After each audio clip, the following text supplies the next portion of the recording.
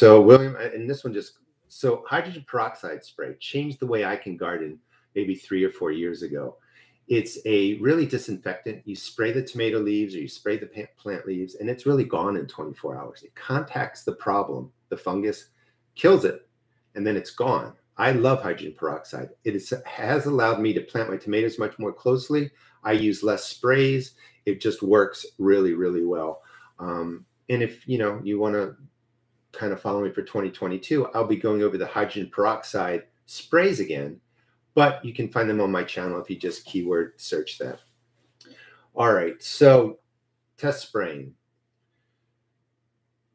was one of them. The other one is, and this is number 14. The other big thing is people actually, for new gardeners, hesitate in getting started. Sometimes they're so overwhelmed or they feel like they have to read a lot of the videos, um, watch a lot of the videos, read a lot of information. Just try and get out into the dirt, fill a container, dig a hole, get started because you're going to make mistakes, but get started. Once you get started, the anxiety comes down and you can really start having um, a better experience. You're going to start having fun and you can start learning a lot of things and expand. So, kind of you know start small but definitely get out there don't don't overthink it um, well that was number 15 you start too big and you get overwhelmed the other the flip side of that is some people are slow to get started then sometimes people go out and they carve out a thousand square foot garden and they have 15 raised beds and everything's going well till the summer comes the plants are really big they're getting diseases and problems that they're not used to they get overwhelmed. So start at a size that you can manage and keep in mind midsummer. So when the tomatoes are full size, when your peppers are full size, when the zucchinis they just start out small are really big, and it'll give you time to see how much time you have in your life to actually manage a larger garden before or manage a garden before you really expand to something big. All right, let me just check here real quick for questions. All right, so far so good. Looks like the connection is working. Um, and I'm going to go through all of these. It might be an hour, it might be shorter. Um, but if you're just joining, we are going to be giving away um, gift cards to the Seed Shop. All right, number 16. I think that this is a pretty common mistake, and we tend to do it over and over again, is we pick the wrong size container for tomatoes and peppers. So a tomato plant, this is a pretty big size container. This would be okay for one pepper plant. Make sure there's drainage holes in here, but it's not good enough for a tomato plant. I now recommend really 10 gallon to 20 gallon containers for a tomato plant. The root systems just get massive. So when you first put in your little transplant, it looks cute, it looks great, but you have to think midsummer again. When that tomato plant is full size or your cucumbers are full size, and that root system is just sucking the life out of that soil, all the water, all the nutrients. And if your pot is too small, it just it's just not going to work. You're better going with a larger container. Underwater, under fertilized container plants. So that's a mistake a lot of us make. So a container this size, like watering it in um, April, May might not be so bad because the pepper would be smaller. It's not so hot, but then it gets warmer and the plant gets bigger. So where you're only watering maybe every two or three days, now you have to water every day. And then in some cases, twice a day. If your container plant dries out just one time, it messes up the whole production of the plant. So you have to really keep in mind the size of the plant, the weather when it's starting to get hot, and you may have to water these plants twice a day fertilizing becomes a big issue too. We can set this up in April with lots of fertilizer, manures, compost, whatever we want. It's growing well. Again, when that plant gets big, it's sucking the life out of the soil. So you really might have to go to feeding your plants, you know, July, midsummer, uh, early summer, even late summer, every week with a water soluble fertilizer, just to give it enough nitrogen to stay green, keep producing, and stuff like that. Um, and again, I would go back to the journal and kind of track how you water and feed your plants until you kind of get a system that, that really seems to work. Checking for questions again, real quick. Yeah, somebody wrote determinate tomatoes are good for five gallon pots. That's true. There's two types of tomatoes the indeterminate, the ones that keep growing and growing and growing. If you're just growing a determinate tomato that gets to a set size, produces, and dies off, you can hang around a five gallon container. But if you actually get to that 10 and 20 gallon container, you could grow the indeterminate or you could actually grow two determinates in there. So a bigger container um, may uh, work too for determinate tomatoes, but you can just add, you know, an extra plant into there. All right, so underwater, earth and raised bed. So this is something that I practiced this year. I spent a lot of time actually watering my garden more. We get a lot of rain. I would water pretty regularly, but this year I was watering even in May before it really got hot, three times a week. In July, four times a week, five times a week. And I really kept in mind that I wanted to soak that top four to six inches of the soil. That keeps the surface roots cool. That really kept everything thriving. It really worked out well. You do want to water deeply, but like if you go online and it says water once a week for uh, one inch, you know, give your plants one inch of water, they're going to survive. Like they're not going to die off, but they're not going to thrive. So you really want to increase the amount of moisture that you're putting into your garden. Deep watering, you know, top six inches watering, but you want them to thrive. You don't want to just give them that one inch of water and they don't die off, but they're, you know, they're not producing as, as well as they should. Let's check. Oh, hello, Callie Kim. I don't know if you were here earlier for the fiasco, but uh, the internet went down, everything froze, so I've just kind of restarted. Um, let's go to 18 because I didn't finish it. So watering your plants are really important. Sometimes the raised beds, we think that we're underfeeding them. Your earth beds don't need nearly as much fertilizer than your containers. And I just want to re-stress that again. Container plants need a lot of care, more water, more feedings, especially when they're big. That's a really big mistake we make is that we kind of, you know, slow down on taking care of the plants and then they die off. All right, number 19. So this is pretty common. Um, we panic and spray all plants when we see a problem. So it's not uncommon if you're just getting started is you see something on your cucumber plant, you get a spray, you spray, and then you think, well, the tomatoes are close to it. Let me spray the tomato plant. And you're like, well, maybe I'll go over and get the pepper plant. Then all of a sudden, we're spraying all the plants with the spray that's just meant for the cucumber plant. You don't have to do that. You have to kind of practice being disciplined and really identify the problem and match the spray to it. It's tempting, you know, you you worry. Some beetles just don't go from the cucumber plant to the tomato plant. So you don't have to do that that spray. The other problem, very similar, number 20. 20 is we panic and we spray our whole arsenal, everything we have. That uh, broccoli plant's going to get neem oil, peppermint oil, rosemary oil. It's going to get some Captain Jack's dead bug dust after everything dries. I'm going to hit it with some baking soda, even though I'm treating it for an insect. I'm throwing fungus uh, spray on there. Don't go crazy and put tons of stuff on your plant out of panic. Pick one product and kind of learn how it works in your garden. And that could be neem oil. I use that for most of my leafy greens, cabbages, kales, etc. I use rosemary oil or peppermint oil on the undersides of my cucumber plants. It works wonderful uh, against spider mites. Also use it on beans. So know what your sprays are for. Don't put tons of different things on a plant. The other thing too is once you put a spray down, you got to wait three days, five days, seven days, and just look to see if it's working. Um, some stuff like neem oil takes a while for the, the insect to die off. Let me take a look for the questions.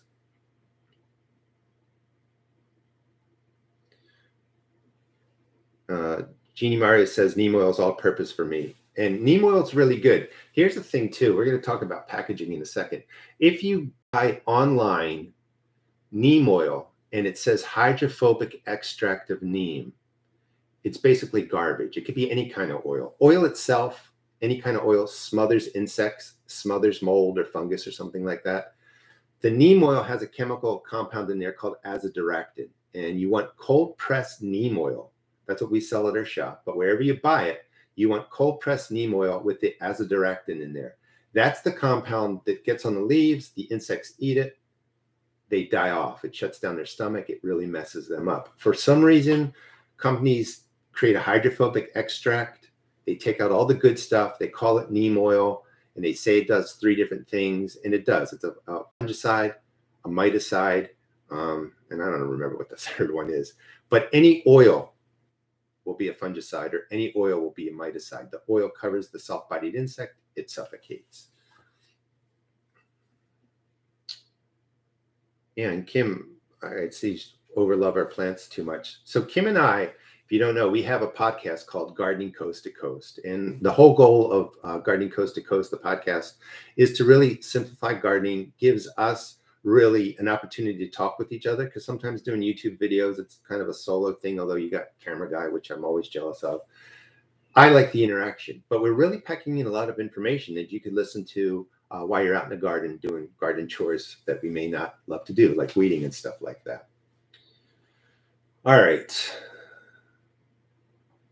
Plant number 21 plant cool weather crops too late and don't plant them again in the summer for uh, a fall garden. So, your cool weather crops really need to go into the garden pretty early here in Maryland Zone 7. That's somewhere, you know, sometimes March, beginning of April. They like the cool ground. The root systems like to be 40 or 50 degrees.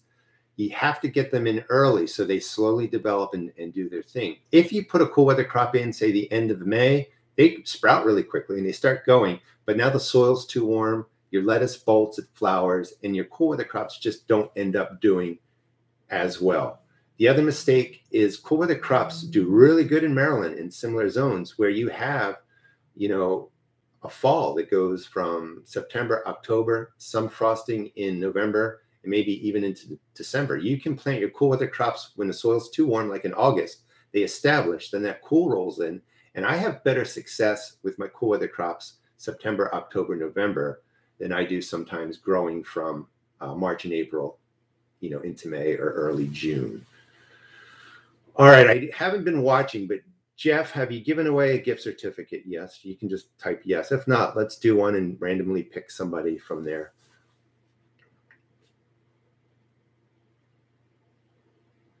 Just buzzing through here looking for any questions. And it looks like things are working before. I don't know what happened, but here where I'm at, like last night, we had 40, 50 mile hour gun whisk, uh, wind gusts, and it's been windy today, and maybe it knocked out the internet earlier. All right, let's see. We are on number 22. So this is sort of, if you want to pay a lot of money for bagged soils, that's perfectly fine. It's a convenience, but they're way too expensive. They're all the same thing. They're basically peat moss, some sort of earth, and then fertilizer. And it's misleading. They put a lot of words on there. I know Miracle-Gro says two times the bounty, blah, blah, blah, great stuff. And then when you look at the little asterisk on the bottom left corner, it says compared to unfertilized potting mix. I mean, th- that's kind of cheesy and it's wrong. So don't spend extra money for something that's telling you it does wonderful things. You're just looking for a basic potting mix, container mix. It has peat moss, some other stuff on there. Get what's on sale or make your own or um, contact a local landscaping company, check out their product if they're close, and just have it delivered and dumped on your driveway if you have the room. And it's a cheaper way to do things, especially if you're filling raised beds. But it could be two or three hundred dollars to fill a large um, raised bed that's maybe three feet by six feet wide, um, 18 inches tall. So you know, don't get fooled by packaging. Uh, let's see. Uh, Wendy Loom just caught this. What do you do for spider mites? Spider mites have been an issue for me on cucumbers and beans forever until I started spraying the undersides with peppermint oil or rosemary oil or a combination of both. I'm not positive which one is better, but those two oils together kill off the the spider mites. It really really has made a difference and it smells great and you would just spray that sometimes once a week. When you mix uh, peppermint oil, rosemary oil into a sprayer, it can sit there for weeks. It's just the the oil that you know you need. It's no special process. So spray the undersides. Do that once a week. Your plants will love you for it. All right. So number 23, they pay way too much for bagged fertilizers or we give our plants too much love, which I know uh, Kim was saying earlier too. So bagged fertilizer, it's a convenience. You really need that, I think, for containers. Not everybody can grow compost um, or make compost. I really recommend looking to pay a dollar to maybe a dollar fifty per pound for organic fertilizers. You, you just don't have to spend two two fifty a pound. Some packaging will say all this great stuff on there, and it's all the same ingredients. It's blood meal, bone meal, uh, chicken manure, feather meal, a couple other things thrown in. It's just organic fertilizer. Read the, the ingredients, try and pay less for it. Uh, nowadays, a lot of fertilizers say they've got microbes and bacteria and all that kind of stuff. I mean, that is true. You need that for your garden. Container mix, throw in a couple handfuls of soil from your yard. That will bring life into there. Um, you can, you know, use that. You know, it, they're, they're not lying to you. It's just expensive. So, you know, figure out what works for your budget. All right, number 24. This one is kind of hard to phrase. New gardeners and seasoned gardeners and myself, probably not Kim because she's a garden genius. Um, all right, I had a laugh.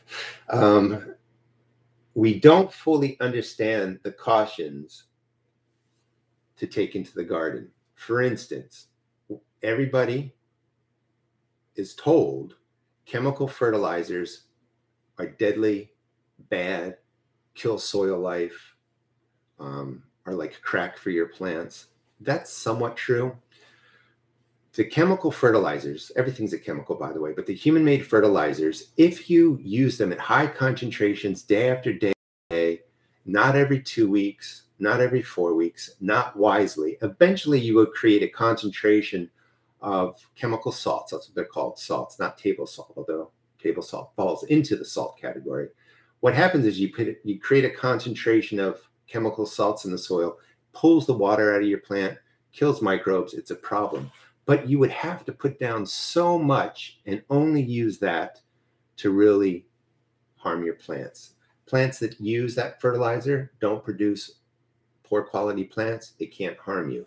But I do agree is that you don't want to use chemical fertilizers only. Really try and be organic. Really try and use compost. That's what I do now. The other thing, for example, is like don't turn your soil, or you need microbes, or everything has to be in line. If you mess up the layers of your soil, the plants aren't going to thrive. That's not true. You can turn your soil with a shovel, the top six or eight inches. And you may want to do that because you have clay soil or you're introducing compost in there. Any, as I always say, any self respecting microbe or earthworm are going to realign themselves. Once microbes and bacteria start multiplying, it's millions and billions of divisions and all that. Your soil life is going to be fine. You don't have to take a tiller and just grind your soil down. That's going to shred up all the worms. That's bad. But just putting a shovel in and flipping your soil over, that's okay. No dig gardens are wonderful. You put down cardboard, you put six inches of compost on there, you plant into it, plants do well. We all don't have don't have that. But don't let that style and great design of a no dig garden make you think you can't turn your garden and that you're harming your garden. I hope that makes sense. The bottom line is is when you learn about things online or from me or from anybody, you know, think about it, challenge it a little bit, test it out, see if it's true, and, and go ahead and you know figure out what works best for you.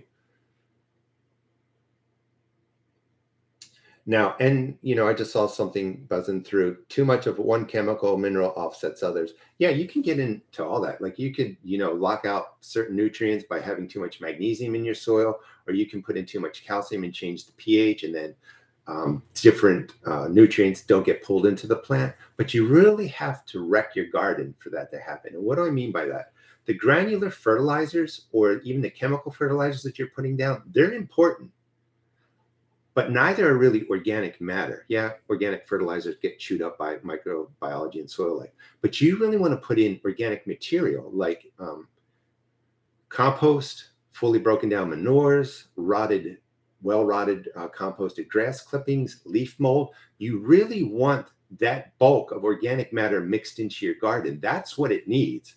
That's what the soil life needs. Um, that's what holds water. That's what creates a great root system. That's what creates a great structure of different uh, microbiology through your soil and worms digging through there. It's the actual bulk of organic matter. All right, where are we at? And we've done this in 27 minutes. All right, so I'm going to go back to the first 10 that I did earlier shortly.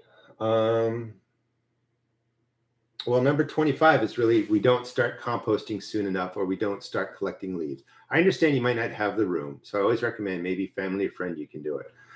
But you don't have to do fancy composting with all these systems where you rotate it every seven days, you're hot composting, you're breaking it down. I have a compost bin that I've just been filling for the last three years. I haven't even touched that one. I have another one where it's more hot composting and I rotate things. And then I have leaves that I just put into a trash can. I am getting the most amazing leaf mold by just throwing leaves into a trash can and into a pen and letting it sit. And I'll be using that really in full next year. So my point is, is you need that bulk organic matter. Don't overthink composting. Set up a pen with some chicken wire. Um, if you have pallets, you can build, you know, a nice space, but just fill it up with leaves, cut grass, let it rot, let it do its thing. Even if it takes a year for it to break down, you're going to have that in a year. And if you just keep the composting going, then you're going to end up with a continuous supply. And that's where you're going to save a ton of money. That's where you're going to have a, a healthier garden. You can use that compost in your containers. You can use it in the earth beds. Um, it doesn't have to be fancy, is my point. All right, let's see. So that was number 25. We'll go back to the other 10. I'm going to just check for questions. And I think we should certainly give away another gift card, brother. Um, if you've already done two, let's just do another one. I feel bad that this just didn't go smoothly from the beginning, but I think it's going okay now.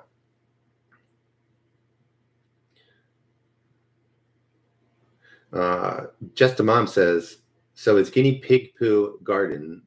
Love it. Not sure if she's asking the question or say they love it. I'm actually allergic to guinea pigs. It's the first animal that I found when I was a kid. I went um, to a friend's house. I had a guinea pig. It was cute and all that. My eyes swelled out from the bottom, like really far. It was the most bizarre thing. So I don't have much affection for guinea pigs.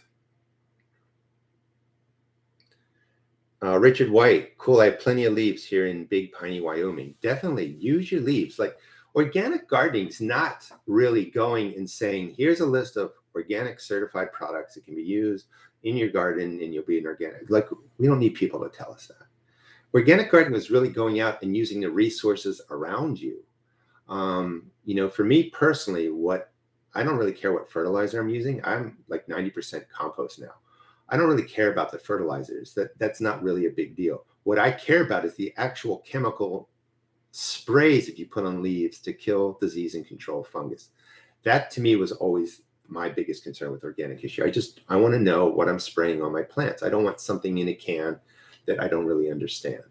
Um, but definitely go out, look around, get your grass, get your leaves, um, and start, you know, composting. If you have a farm that's local to you, maybe start a relationship. They always have more compost, uh, horse manure, cow manure sometimes than they need. Maybe you can get that.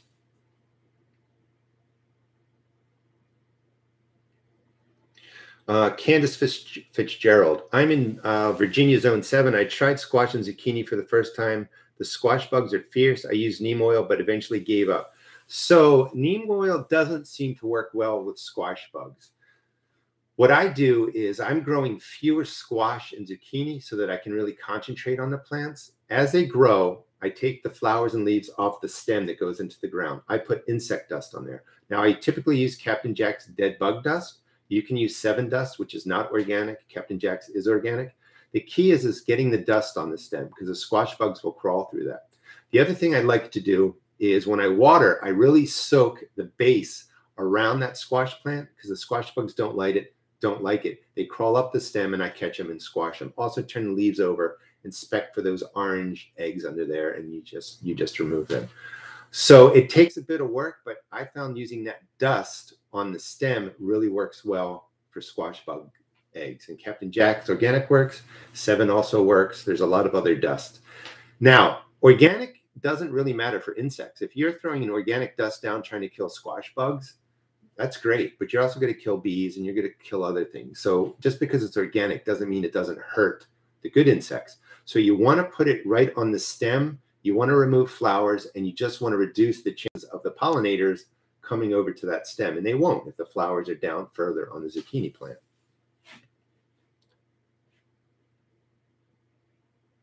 Kim asks, yes, you are composting. She puts four to six inches down on her beds over the winter, throws scraps on there. Even if that all doesn't break down, like if you take your beds and you just throw in four inches of um, leaves, worms will break that down. You know, bacteria will break that down, mold will break that down.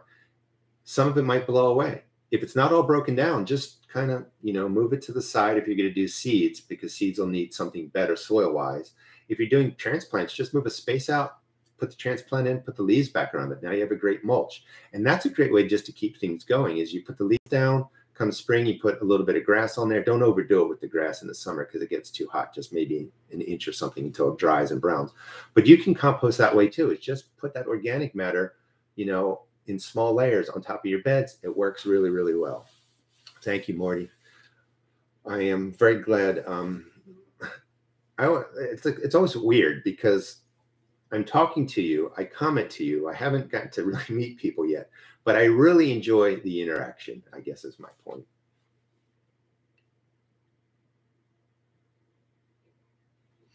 Let's see. All right, so that was number 25. So we still have 12 minutes. Um, I have no idea if we've given stuff away.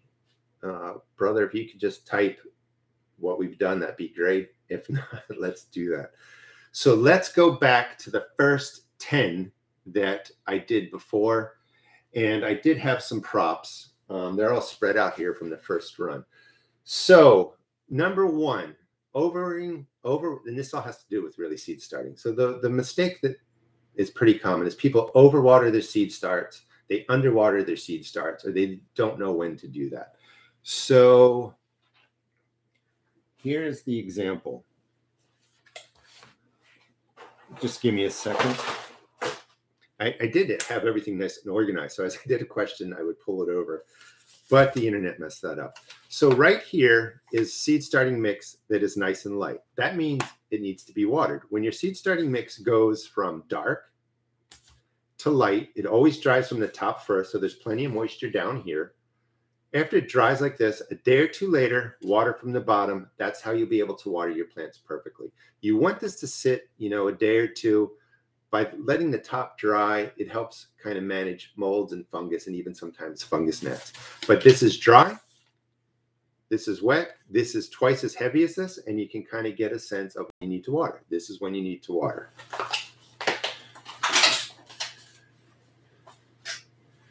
Number two is people don't keep their seeds in an airtight container. And this is a great way to save money. These are um, Bentley Seed. We work with this company. I highly recommend them. There's tons of seeds in here, you know, and the seeds that you get from our shop. There's tons of seeds in there. You might only grow four tomato plants. What are you going to do with those other 35 seeds? Well, put them in a Ziploc bag or an airtight container because seeds will definitely last three years, five years, seven years, 10 years in some cases. So, you know, you spend two bucks on a pack, you use five seeds, but you can keep using these. That's a, just a great way to save money. Or we lose track of them, or we plant from them and we leave them outside. Take care of them. You'll save yourself a lot of money by just going back to them year after year. And when they don't germinate, that's when you need to buy more seeds. Let's check here.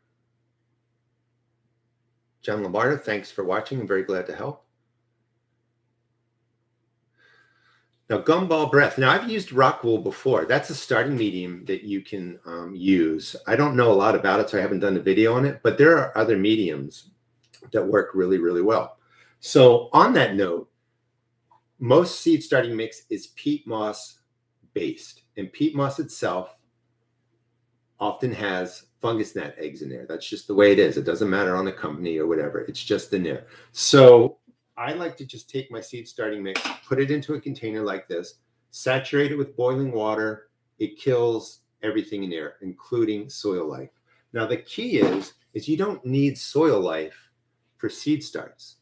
I recommend just a sterile starting mix, just like the rock wool. When a seed germinates, it lives off the coat. After it's growing for 10 or 12 days, some mild liquid fertilizer, organic, chemical type, is great. You're going to have a great seed start or a great transplant. We're just growing transplants. When that plant gets outdoors and into the ground, that's when you can have all the soil life you want and need, and your plant will really do better for it. But it doesn't need it as a seed start. Now, if you, you know, and that's fine. You don't have to agree with me. I, I'm fine with that. I just don't want you to get fungus gnats. So if you want to have soil life in your seed starting mix, sterilize it you can add in worm castings. Um, you can add in sometimes fish emulsion or organic fertilizers will have some soil life. Or you can just do this. Get a container that seals really well. Put in some of your starting mix in here. Just use cool water. And then let it sit in here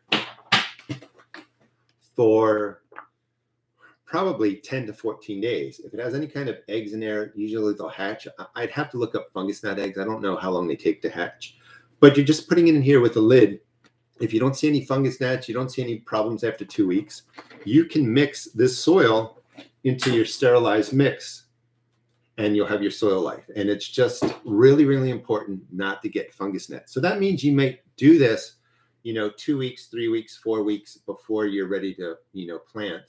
Um, if you want to add in, you know, the soil life, you know, Sterile mix, you can sterilize that. You can use it that day once it cools down. All right, let's see. Questions.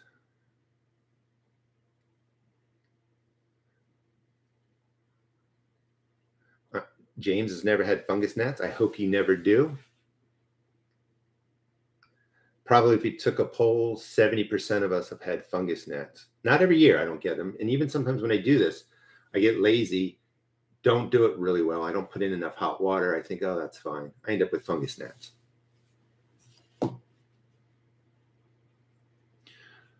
All right.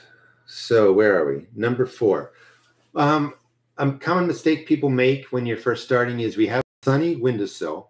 It's not getting direct sunlight. Maybe it gets an hour or two. We start everything on there. They germinate. We're excited. And then we have plants that look like human hair. They just get tall and spindly. They're falling over. There's just not enough light 99 times out of 100 on a windowsill. Certain plants will do okay on there, but generally speaking, if you're doing tomatoes and peppers and all kinds of different things, a windowsill is not going to cut it. So, you know, that temptation we all have, we try and start on the sunny windowsill, and it really just kind of leads to disappointment. Your plants will get leggy, they'll fall over. What happens is they don't have enough sun, so they kind of think they're still in the soil. So they're putting all their energy into getting taller and taller and taller, trying to get to the sun. And it's just not going to happen. Number five, overspend on grow lights for transplants. So we're just, at least what I talk about is we're just growing transplants. So you don't need the three, four hundred dollar systems of fancy colored lights, um, red, uh, yellows, blues, whatever colors they are. They work. They're excellent. They're excellent for growing from seed to flowering to fruiting. So if you're doing something like that indoors for full production, you're going to need a better grow light system.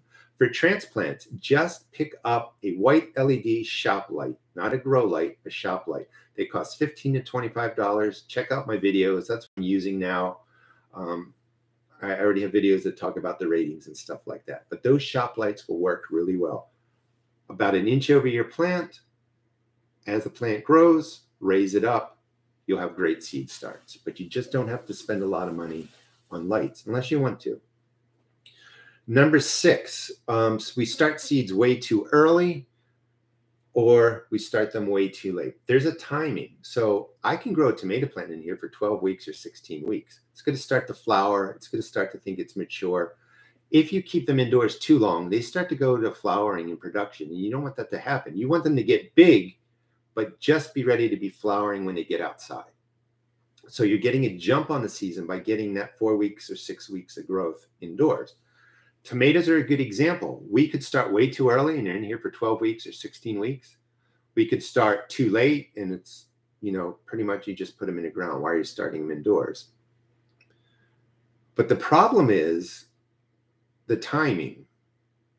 Let me just, you want to time the growth of your transplants to be able to go outside into your containers or on a deck or into the ground when the temperatures are right. That's what really matters. The above ground temperature, the ambient temperature, and the earth temperature. And that takes us to number seven. Growing a tomato eight weeks indoors and then putting it into 40 or 50 degree soil. And if you put a seed right next to that, that transplant is going to kind of struggle because the ground is too cold. That seed will start doing its thing and maybe break the surface. And as it warms up, it'll sprout up. The plant will start going from purple to green because it's purple because it was too cold. That plant will actually catch up. So there's no point in putting your warm weather crops into cold soil. So the timing is really, really important. So what do I mean by that? May 15th, my soil's warm, frost is usually gone, but the soil's warm enough. I count back eight weeks. Uh, what is that? March 15th. That's when I start my tomato plants. So they come May 18th or May 15th. They're ready to go into the warm ground. Nice smooth transition. Those plants take off. Hope that makes sense. The warm ground is more important, in my opinion, than the ambient temperature for your warm weather crops. They need that warmth in the root system to, to really take off. Uh, number eight, the biggest mistake is people don't buy my book, The Modern Homestead Garden.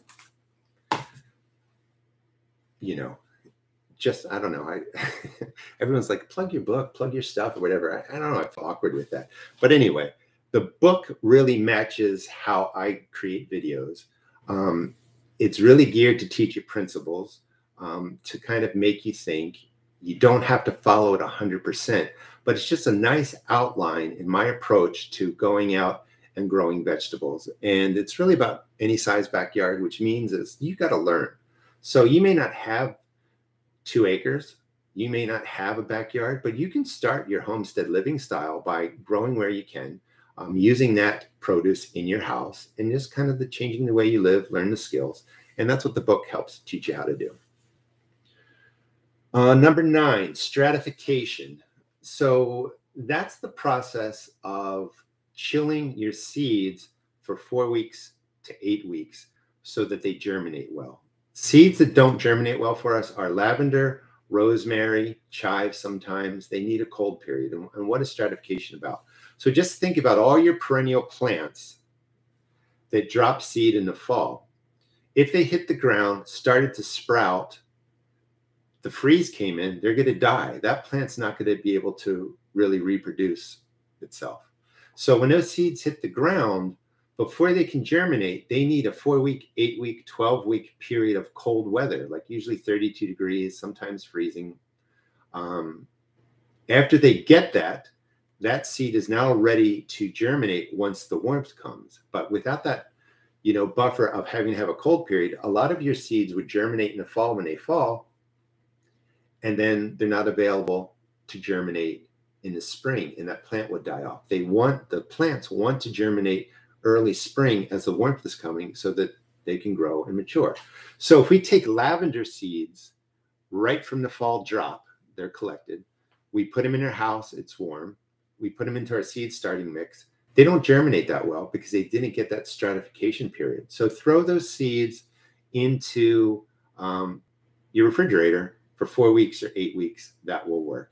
I have a whole um, blog article on it. Jeff will throw in the link that talks about the 35 plants that I grow that could use stratification. If you don't stratify, that's okay. They're still going to germinate, but the germination rate won't be as good. And sometimes it can take four, five, six weeks for germination to happen. Stratification will really help with um, success for your seed starts.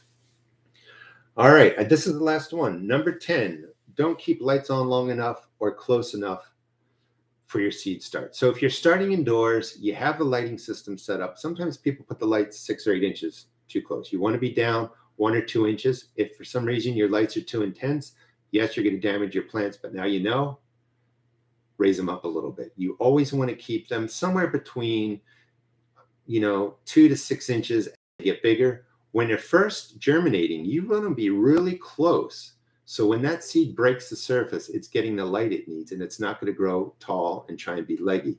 So keep it close. And usually nowadays, I recommend keeping the lights on 14 to 16 hours while you're waiting for germination and maybe for a week after germination. You can start reducing the amount of time the light's on as a plant's finger and you can raise them up, you know, when plants start getting bigger, um, they can deal with more change. But when they're small, they're looking for intense light, like right away. All right. So that was 25 common mistakes we all make. Um, we're at 47 minutes. This was take two. Thank you for the people that stuck with me. Um, I think it turned out pretty well. So let's use the last 13 minutes just to ask for questions. I'm going to be looking at the uh, chat here, and we'll just go with questions. And if you type the word question really big, then I'll be able to see it better. So Hindi 360, in your recent videos, you talk about bone meal. However, I can't find bone meal, bone meal where I live. Could you give me some other tips for root vegetables, potatoes, please? So that's a good thing too. Since we are kind of gardening from around the globe, some materials aren't available. So any form of phosphorus will replace bone meal. Bone meal also has a lot of calcium. So you can get rock phosphate which sounds like a chemical, but it can be organic if it's mined um, in a specific way, let's just say. So you can get rock phosphate, it's pretty powerful, but go ahead and use that.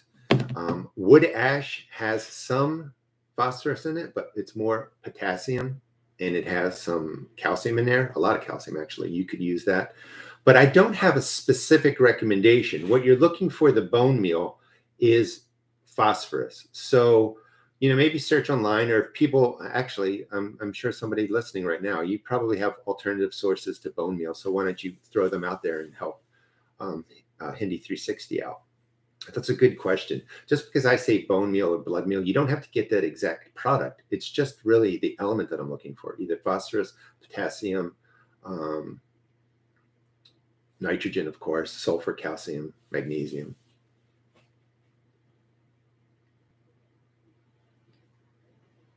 All right. Any more questions? Um, Tom Seldom. Do I need a bottom on my raised bed or can I leave it open to the earth?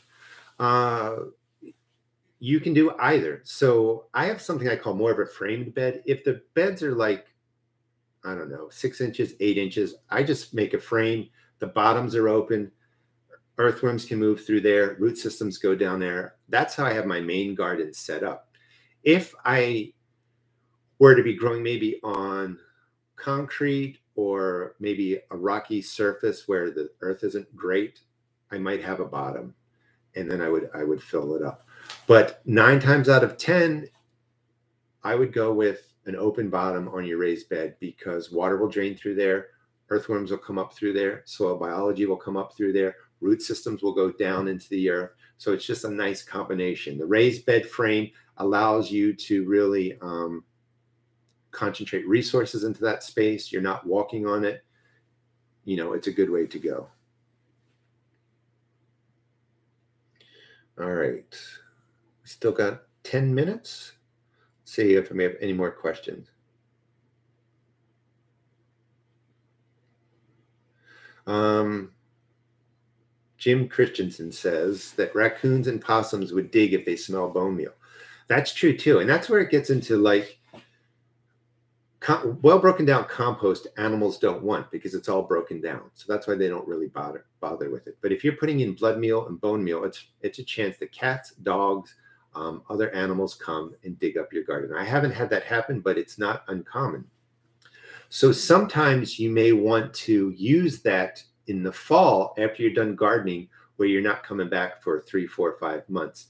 Any animal that gets in there and messes around with it that's fine but it's going to break down with the soil biology and it's going to, you know, be available for your plant. If you put down fresh bone meal and blood meal sometimes around your plants, something comes in and digs them up. That also happens with fish emulsion because they like the smell.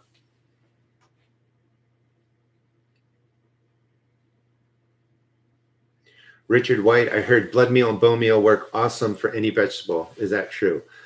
Blood meal is nitrogen. It's uh, bovine pig blood, freeze dried. Uh, bone meal is phosphorus and calcium. It's crushed cattle bone.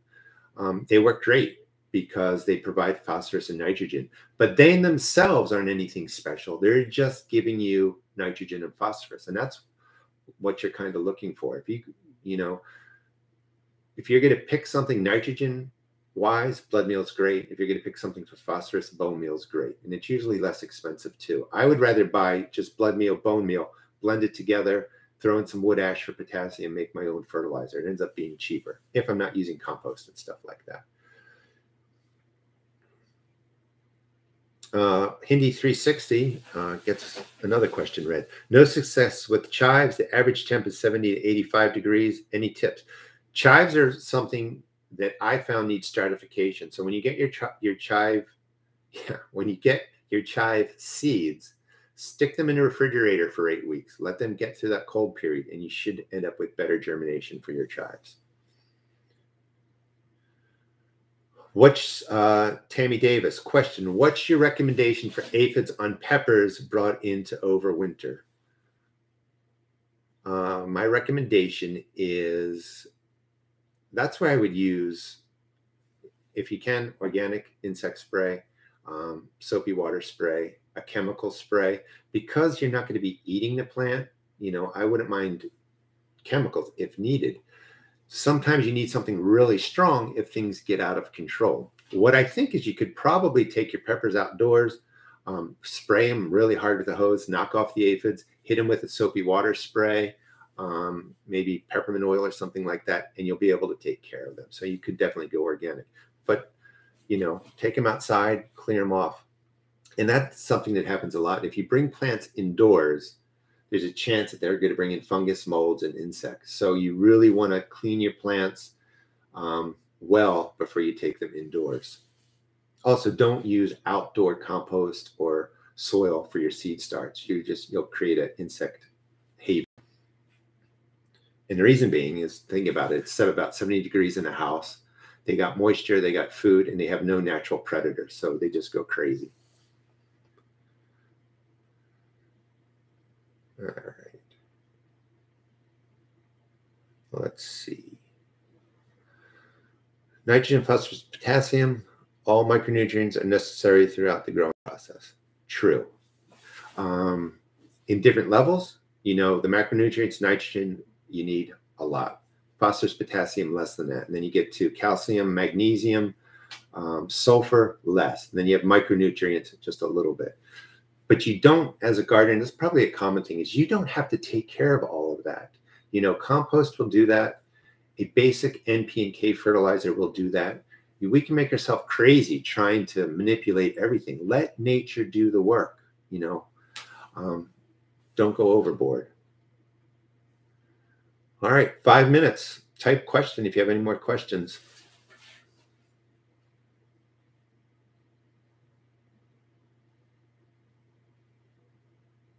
Jason Fraser said, My peanuts never grow. So this was the first year I grew peanuts. I didn't do any videos on it because it was just a test run. They were really successful. Um, I grew them in containers, so they were well drained. I kept them well fed with fish emulsion, and they really did well. I don't know if that will help you out, um, but next year I'm going to grow more peanuts. So Richard White has a good thing, not using any pork products. Um, what's a good alternative. So this is kind of where organic gardening as a label bothers me. Organic gardening as a principle is wonderful. It's what people have been doing for hundreds and thousands of years. So he says he doesn't want to use pork products. That's fine. So you look for an alternative. That alternative might be phosphorus that, you know, chemical engineer Garrett goes out, finds some rock phosphorus, adds in some, you know, acid to it, breaks that phosphorus out. He doesn't make poison. He doesn't make toxins, but you have phosphorus and you can use it. That's okay. So alternatives, there's a lot. I mean, you just have to start reading ingredients. You can use um, organic rock phosphate that's mined in a specific way. You can use processed rock phosphate. You can get chemical fertilizers that have phosphorus in it. Um, you can look for chicken manures, organic, that will have phosphorus in it. Um, alfalfa pellets have some phosphorus in it. They don't have the high level like bone meal. So if you're looking just for a higher level, that's hard to find, but you can, you know, find it, you know, in lower levels with other products.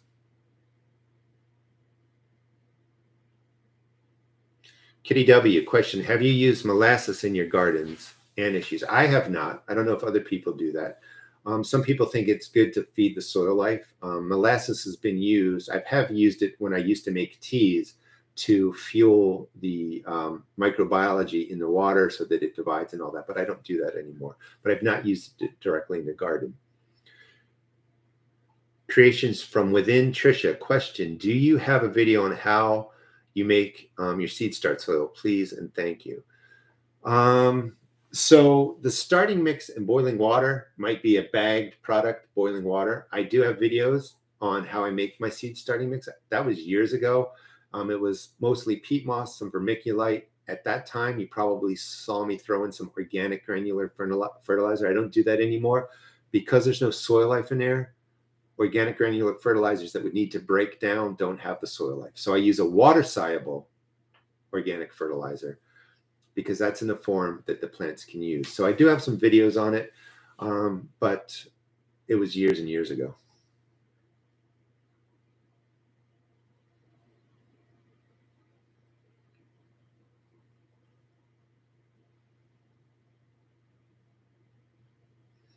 Um, Andrea Vasquez says, I love your channel. My mom is asking me for your t-shirt for Christmas, and she would like a taller cup for ice cream, for uh, iced coffees. That's a good idea. Are you going to have new colors for the t-shirt? So my I'll let my brother put a link into the shirt. So that shirt that that's there now is a t-shirt. We really like it. That one's going to stay, but we are coming up with new merchandise ideas and a, a, a tall cup, you know, for iced coffee is a good idea. Well, it's almost been one hour. Maybe we'll go over a little bit because I mean it was just such a fiasco for that one to one thirty area. I was like, no, no, we'll, we'll keep we'll keep going. So I'm glad you guys came back. I'm glad everything is working. All right, question.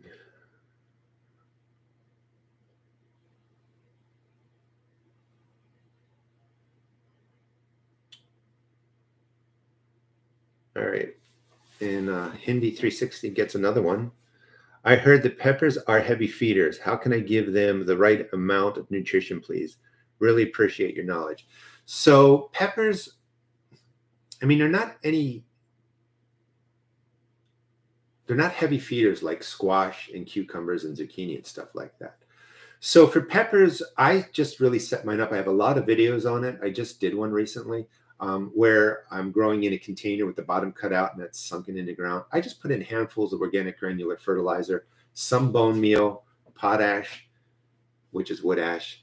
You don't have to get crazy and follow that. You just need any basic organic granular, really kind of prime the area if it's a container or the growing area. Put your pepper plant in, give it a big drink of fish emulsion is what I recommend. Lots of nitrogen early. When it gets, you know, a little bit bigger, I don't know, well, that's a lot bigger, but I don't know, 12 inches, 14 inches, starts to flower. Cut back on the nitrogen. You don't want a lot of leaf growth and just kind of let them do their thing. If you're using bone meal, that's good to put on there. If you get your alternative that you're looking for for potassium, I'm sorry, for phosphorus, that's a good idea to give it a, you know, midsummer feeding of something higher in phosphorus. That just helps with flowers and fruit growth.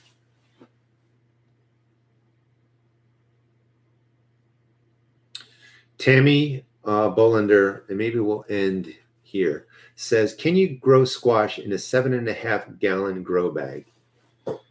So the answer is yes, you can. Um, you can get compact varieties of squash, what I recommend. I grow trailing varieties out in my yard. The thing is, is you can grow any plant in any size container in theory. Seven and a half gallons is enough for you to get some squash. But once that plant really starts taking off and the root system fills up that seven gallons, you may be having to water two or three times a day, depending on where you are and how hot your summer is. And you're going to really have to be putting in the fertilizers, water solubles. So, really going to 15 or 20 gallons is best because it gives you that cushion of not having to worry so much about the water and it allows you to put more fertilizer in there.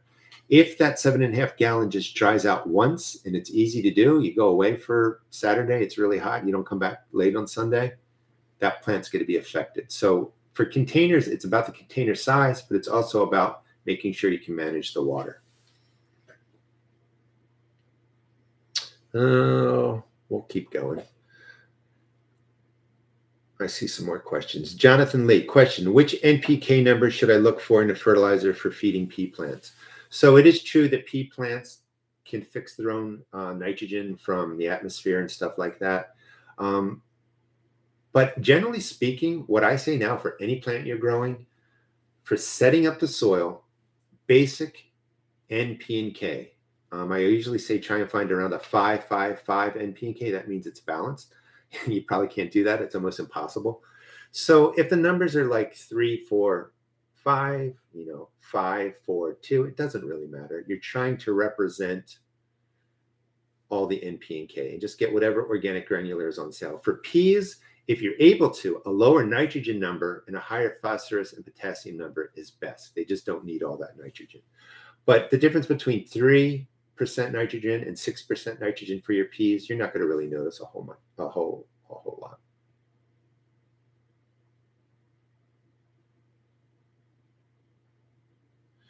Uh, Richard White question What does bone meal have in it? Bone meal is um, crushed cattle bone steam crushed cattle bone. So it mostly has, I don't think it has any nitrogen. It has phosphorus and it has calcium in there.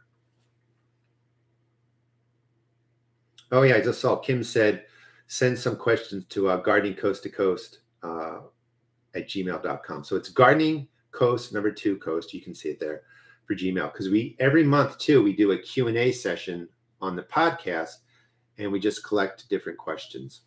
We're on podcast number nine, I think, Kim.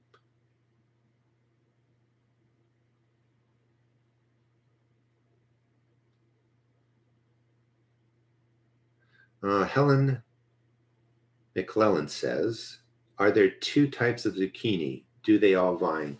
There are more than two types of zucchini. Um, and I guess maybe you're thinking, is there like a bush and a vining type? And yes, there are. There, I don't know the names, but different varieties might be more compact.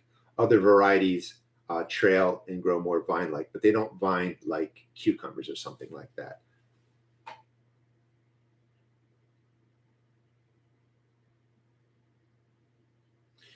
Terry Williams says, I have sweet potatoes in smart pots. They're getting pretty tall. Should I trellis them or let them chill? You can do either.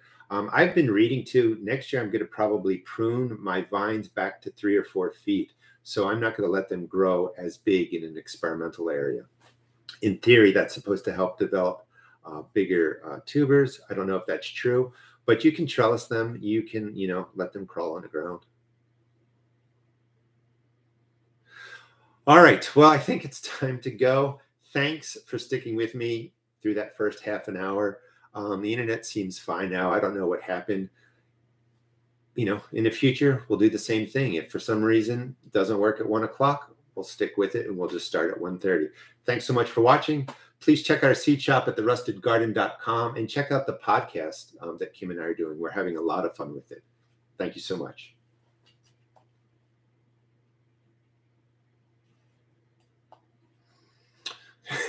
Thank you so much. And I can't find end stream. There we go.